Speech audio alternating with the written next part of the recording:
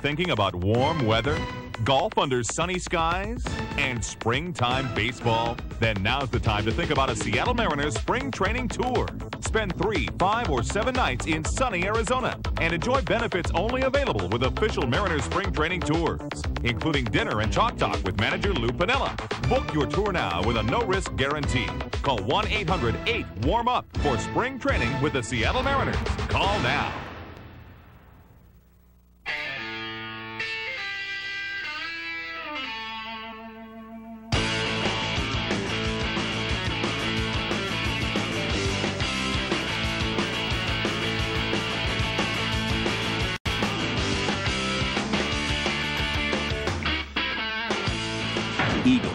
And Garden. More of everything. Eagle Hardware and Garden, corporate partner of the Seattle Mariners, is proud to bring you these exciting 1995 season highlights. In a season you thought would never end, the Mariners, just like Eagle, gave you more of everything. Now sit back, relax, and relive the magical Mariner ride.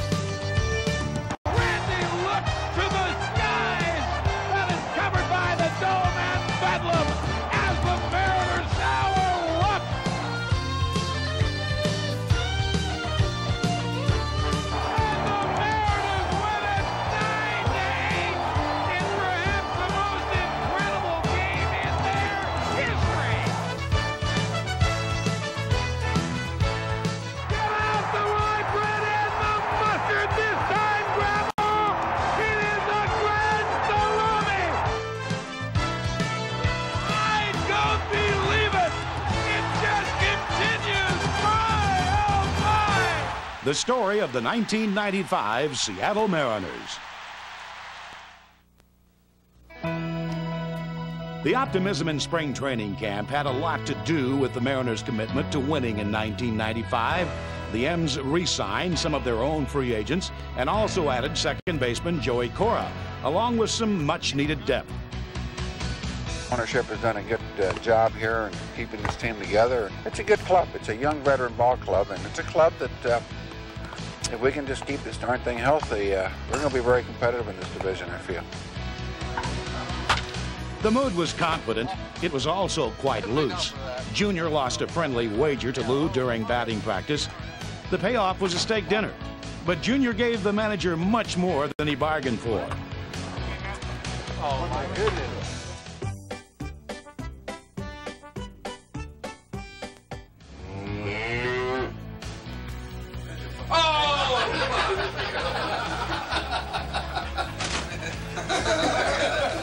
Ah, yes, that's a lot of steak. Luckily, Lou took it with a grain of salt.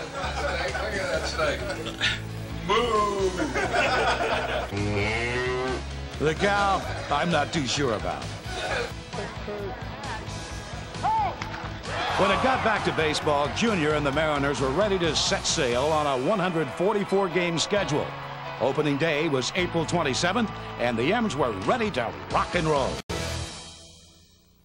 Ladies and gentlemen, they're back and ready to play ball. Your 1995 Seattle Mariners. Yes, the boys were back in town and mighty glad to be there. It was a hot time in Seattle as the Mariners were raring to mow down Detroit.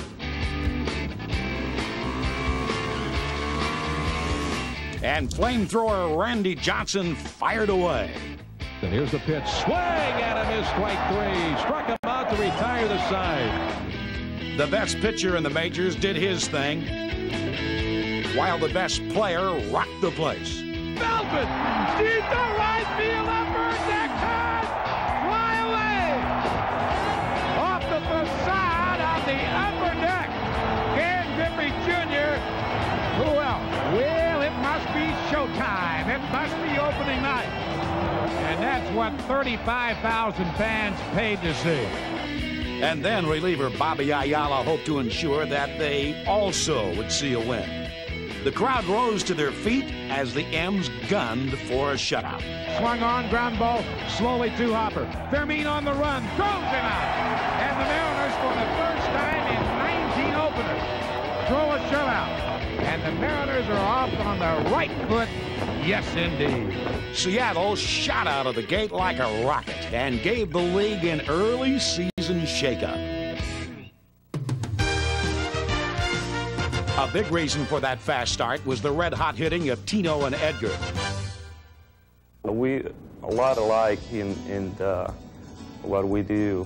Uh, and it's funny that we have the same last name because um, uh, we, I feel like we are alike uh, in our work habits. Even for practice, we make sure that we're ready. And uh, that is something that is so strange. Every time I see do things the way I do, it kind of blows me away. I credit my success to Edgar. Edgar has been on base for me all season long with his doubles. Swung on line drive, base hit left field. Edgar Martinez come through. And then Jay swinging the bat well behind me. They couldn't pitch around me, so I definitely got a lot of good pitches to hit. Fastball belted and make it 8-5. Tino sends that one into the upper tank. Last couple of years, I got off to slow starts in April and May, and, uh, and it just my average just never showed. I got hot in the second half. But this year, I knew that if I could just get off to a good start, that I could put up some big numbers and do what I was capable of doing, and knowing what I'm capable of doing. It, it, I knew what I could do on the inside. It just wasn't coming out early in the season. And once I got off to a good start this year, I knew that I, I was going to put some big numbers. Tino um, came to spring training uh, in good shape. He came in about 10 pounds lighter than he normally does. And because of it, I think he was able to get off to a good start. In his first 15 games, Tino batted 370, showing remarkable consistency. It would be a breakthrough year for the Mariners' first baseman. Nearly a month into the season, both players had virtually identical red hot numbers. Edgar went on to win his second batting title, hitting 356. I think that the high average, you know, you have to maintain the consistency. And, it, you know, uh, I'm not going to say that I'm going to be able to do this kind of year all the time, but you have to get hot at the first month of the season and maintain that consistency all year. It's nice to get the recognition and it's nice to to see people and hear people talking about you. It's nice compliments, but I get more satisfaction out of doing my job. Uh, on the field. And uh, that's what I'm trying to focus on, just be satisfied with, I, with what I do.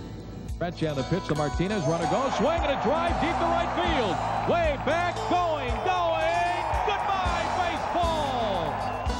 Edgar belted 29 home runs and knocked in 113. Muchísimo caliente is the only way to describe the big-time production from both players it's very satisfying. Not not just proving to everybody that I can play, but knowing what I can do and going out and doing it. Finally feeling like I, you know, I know what I'm capable of doing, but I've never done it. And this year, by doing it, it just gave me a lot of confidence and a lot of satisfaction from all the hard work I put in.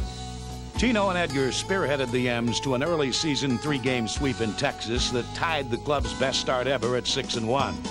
The Mariners remained in first place for much of the first month of the season as they looked to be living up to their potential.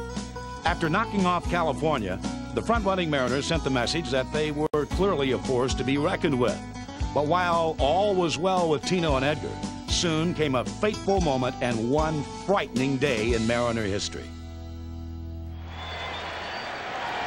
Swing and it's a fly ball, right center field and deep. On the run, Diaz and Griffey. Griffey up against the wall, jumps up, and he makes the catch and crashes into the fence. Griffey just stayed on the warning track and he hurt himself. Griffey dove into that fence. Alex Diaz showed everybody that he made the grab, but Griffey really hurt his left hand or his left wrist. An incredible, an incredible catch by Ken Griffey Jr. I didn't think there was any way in the world anybody could get to that ball. Let's just hope that Junior has not hurt that left wrist badly.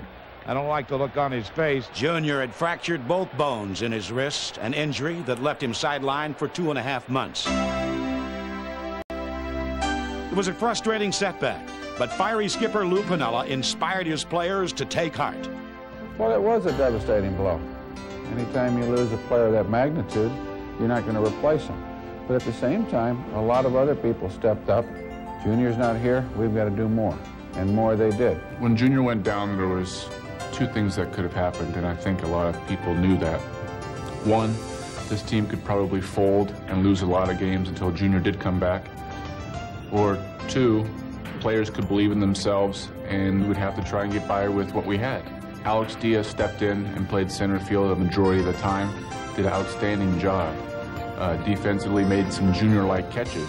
So without a doubt, the season for the Mariners started when Junior got hurt. Everybody else picked it up, and uh, I really think that the team became much closer uh, by picking one another up after the absence of Junior.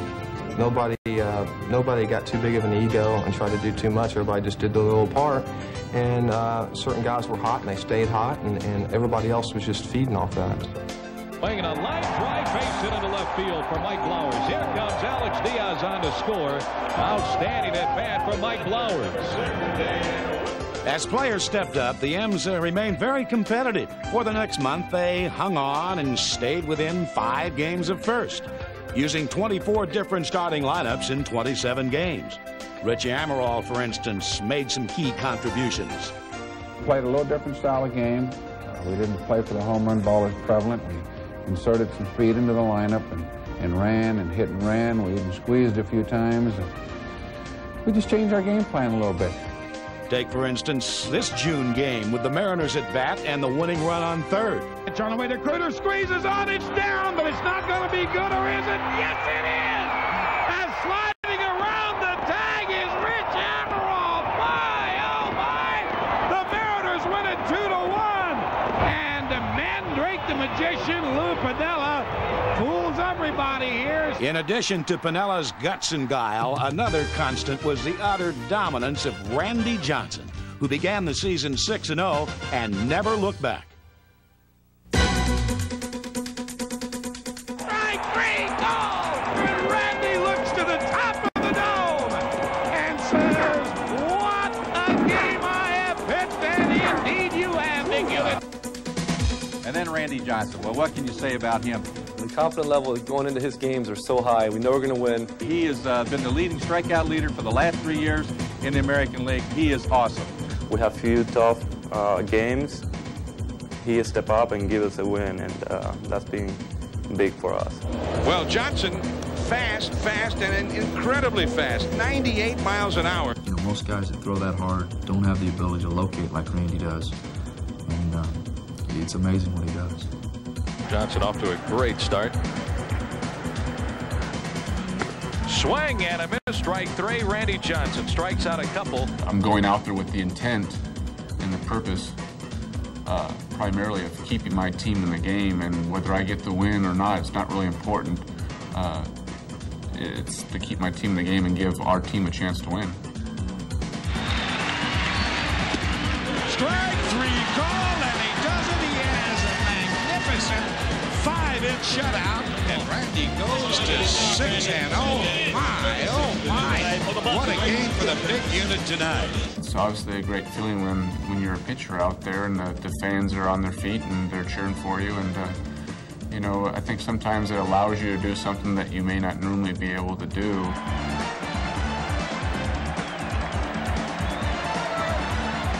Randy into his wind in the 0-2 pitch,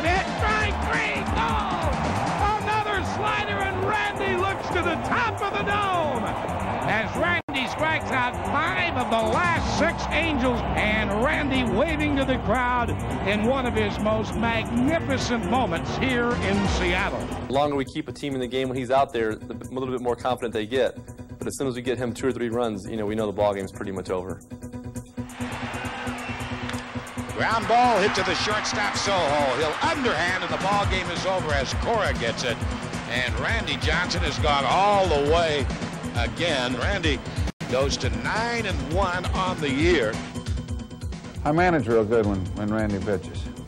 Um, Randy's had a spectacular season. Uh, he's been a pitcher. He's been a dominating pitcher. Uh, he's been a winner. He's been the leader of our staff. He's carried us on his big shoulders all year, and every time we've needed big games, uh, he's repeated them. And, uh, you know, how much better can this young man get? I don't think he needs to get any better. I think he just needs to maintain. He's at the top of his game. In July, Johnson took his high velocity fastball to the All Star game as four Mariners made the trip to Texas. The national spotlight fell on the beautiful ballpark at Arlington. It was a proud moment indeed, since it marked the first time ever that four Mariners had made the team. Edgar was the American League starting DH. Tino made the squad, and though injured, Junior was voted on the team for the sixth consecutive time. Griffey Jr. Randy was the American League starter. The big unit pitched two innings, striking out three National Leaguers, including Fred McGriff and Barry Bonds.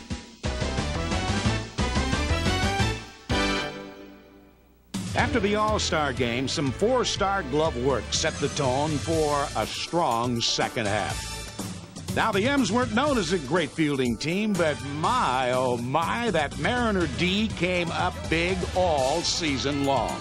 Got him. Little blooper, gonna drop into left center field. No, great catch by Jermaine. Ground ball wide of first, backhanded by Tino, goes and he gets there before the dive by Gates. Sojo, will he get there? Yes, he will. Here's a swing and a fly ball, right field, sinking fast. Bragg comes in, dives, and he makes the catch. An amazing catch. Fermin to his left, dives, knocks it down, backhands to Sojo for one. Relay to first in time, double play. Ellie Diaz. My, oh my. Diving stop the second baseman. Fermin fires the first in time. Swinging a fly ball into shallow center on the run. Diaz dives and he makes the catch. They've got a shot. Double play. Ground ball up the middle. Rodriguez gloves it in behind second. Wheels and fires. They got him. What a play. We have it. He jumped into the crowd and he makes the incredible catch. Bouncing ball, Cora. Diving stop, flip to second, got him there. Joey Cora, another bit of prestidigitation at second base. Into deep right center field and flying over Diaz and now it's space. An unbelievable catch. My, oh my, I don't believe it. Number down the third baseline, backhanded by Boz. He goes to strings and throw to first time. What a play! I don't know if I've ever seen a one, three put out, Ronnie. I haven't either. Whoa! After the All-Star break, the M's hung tough for a while, but it wasn't long before a losing streak took its toll. Lou had nowhere to turn as the frustration set in. The California Angels began to pull away, and the M's dropped way back.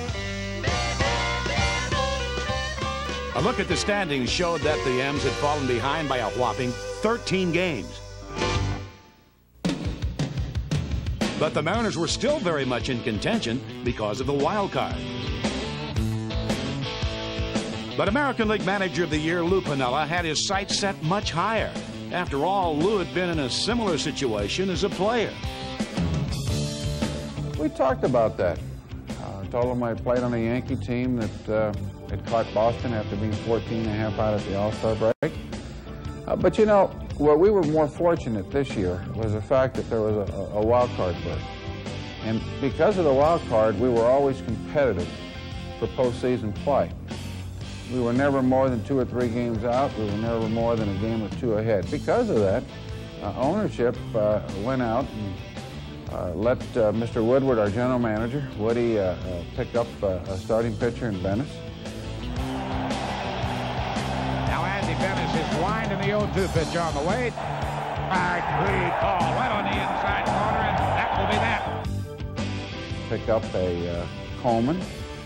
Coleman goes, the pitch is outside, no throw, and he's in scoring possession. Coleman had a great jump. We were fortunate already earlier in the summer uh, to pick up uh, a Belcher in a trade. The pitch.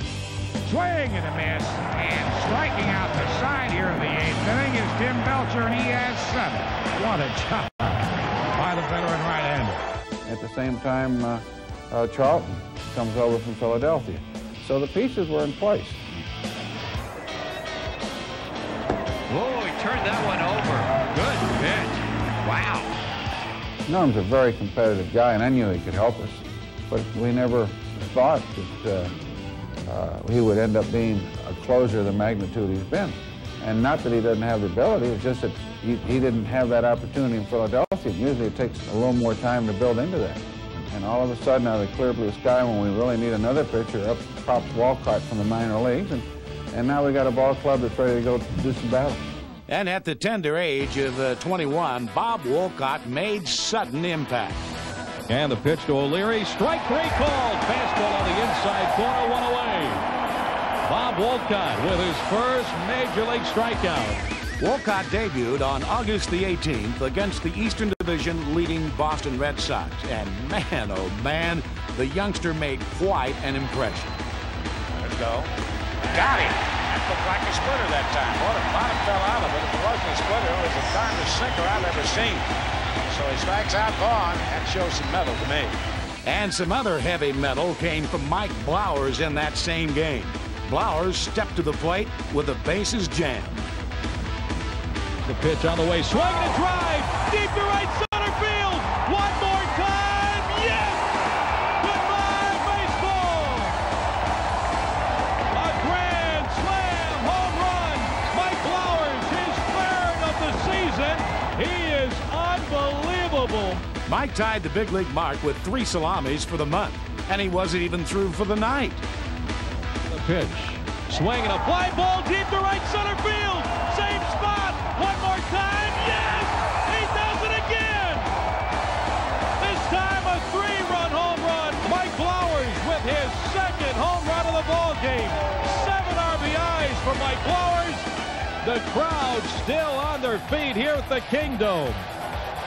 The fans are shouting, shouting, Blowers, Blowers, Blowers. There was much reason for optimism in the middle of August because the kid was back. Junior hit safely in six of his first seven games, and Seattle's spirits soared. What a happy return to the Kingdome. And during those first few games back against the Red Sox and the Orioles, he showed no fear. Junior's instant return to greatness had everyone in awe. Griffey going back the track, the wall, leaps up and he makes the catch. Holy smoke, the kid is back. Junior is over. He runs it down. Ken Griffey Jr. just flat out outraced the baseball. Junior going over, reaches down, slides on his and makes an amazing catch. So that's four great catches for Junior in the last two games. The wind and the pitch. Swung on in, belted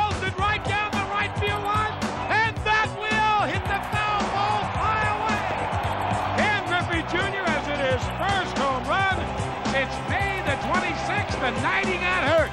And it is 5 to 2, and the fans have been waiting for that. So Junior making the tour, and does it look great?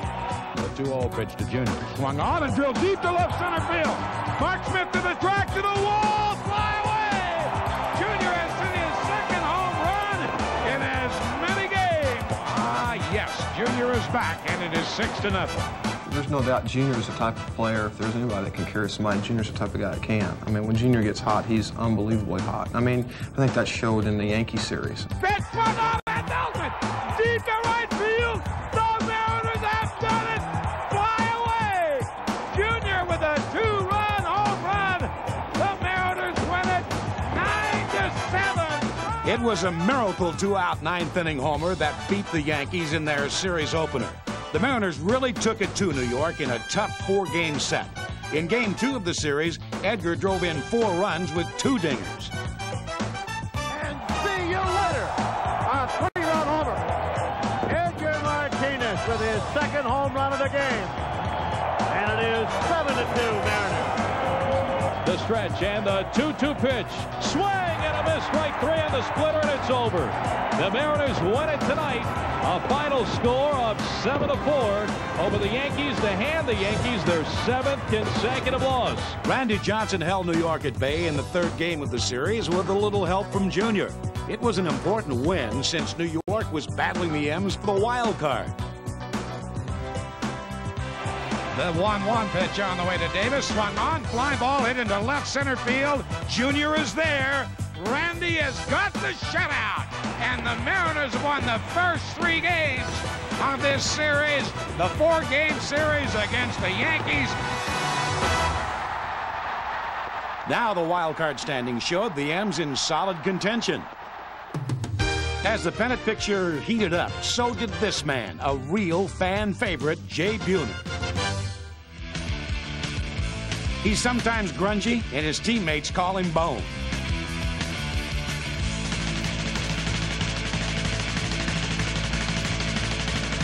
In 95, Bone came into his own. I think you mature as a ball player. You get to know your swing a little bit more. Um, and I just, uh, I just had that, that, that feeling this year, a little bit longer this year. I just, um, I just started to figure out certain things, and when I got my pitches in a certain zone, I wasn't missing them. You gotta love Buhner's bat, and you also gotta love his style. There were free haircuts for all, including Jay's son Chase on the second annual Buhner Buzz Cut Night. His throng of fans out there in right field on their feet, giving Jay a standing ovation. Those who are bald, those who are now bald after being shaved. Everybody loved watching Jay play because Buhner delivered a lot of nasty cuts with the bat during September. Jay Buhner, a bomb way out of here. The Red Hot Buhner was convinced that the M's were the best club in the American League West.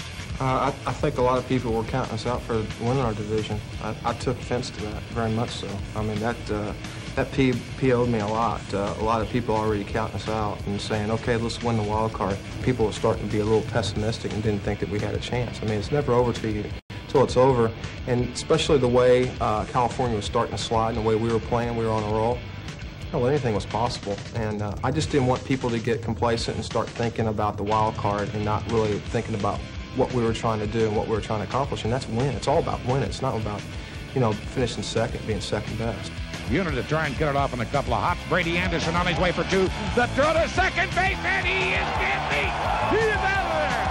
Yes, indeed, Jay did it all in his finest major league season. Buhner swung on and belted deep to left center field and get out the ride, Brett Grandma, because here comes a grand salami. You know, Edgar and Tino were hot, you know, uh, May, June, July, and then uh, Blow was hot in August, and I got hot in September. And you get into a winter streak like, like we were on in, in the month of September. Uh, we were hot, and it carried over, and, and uh, you know, you just ride on all that adrenaline and that, and that emotional high. Buhner finished the year with 40 home runs and a club record 121 RBIs. He also set a club mark for home runs in September with 13. Refused to lose was Jay's middle name. During the M's incredible September stretch, they won 17 of their last 22. And Jay delivered lots of punch. The Big Four was ready to make its big push for a division title as the M's returned from a September road trip. We came back from the East Coast trip uh, five and five, and I told the ball club basically, look, we've got uh, 14 of our next 17 games at home. If we're going to do something, now's the time to really put it together. And these kids, boy, did they respond and did they play good baseball and exciting baseball. It turned on the city of Seattle. The Mariners pull into a tie for the top spot in the wild card race with Kansas City. I knew if we got on a winning streak and, and continued to play consistent baseball that we had a chance of catching California. And there's nothing better than having a banner hanging up in your outfield that says division champs. The Mariners have swept the Kansas City Royals in this three-game series. They are off and running, and the race is on. Yes, indeed. My, oh, my. You know, I don't think we ever gave up hope that we could win the division. Uh, even when we were 13 games out, we still had aspirations of winning the division, although it's, you know, that's not one of the things you say in the paper. The windup, the 0-2, strike three, and it's over. Norm Charlton strikes out the side, and the Mariners are back on top. in the wild, wild card race. California started losing and we started catching them. And then we shifted our goals to, hey, let's just catch California. We catch California, you know, get in there anyway. So uh, we started doing that and we, we got really hot and played real well to the end. A one-two pitch on the way. Strike! Three. Ah, enjoy it, Seattle. Yes, indeed.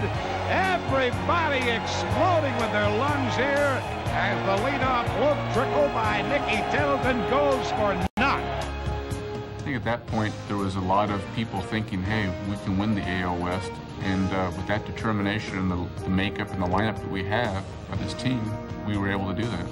Here comes the delivery on the way to Doug, and it's swung on and melted deep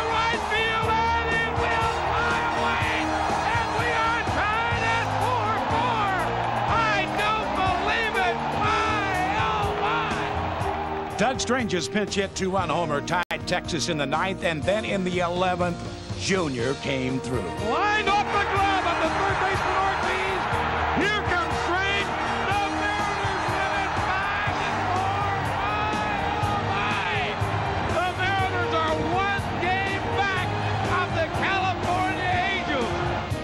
the wind and the 0-2 pitch on the way, swung on, and a fly ball hit deep into left center field, and Junior's going to go back to the track, to the wall, make the leap,